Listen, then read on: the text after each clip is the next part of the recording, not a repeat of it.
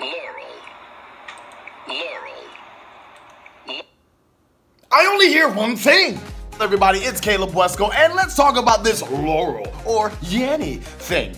Well, there's only one answer. So actually what we're gonna do, we're gonna listen to it and tell me what you hear. Comment down below and make sure you subscribe as well. So let's get to it. Laurel. Laurel. Laurel. Laurel. Laurel. Laurel. It's Laurel. It's Laurel. For any of you guys that's saying that it's Yanny out there, he's Laurel. see look, Laurel. see?